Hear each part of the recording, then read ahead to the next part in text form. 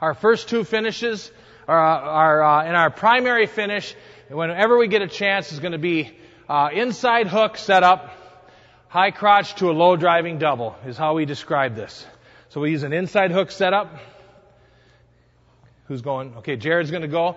And now he'll come in here in great position. Don't go through the whole finish yet, okay? But just get yourself in a position to do the low driving double. Okay, and right here, okay? Right here is where we want, where we want to be, okay? Uh, just like this. We want Nick to be draped, our opponent to be draped over us.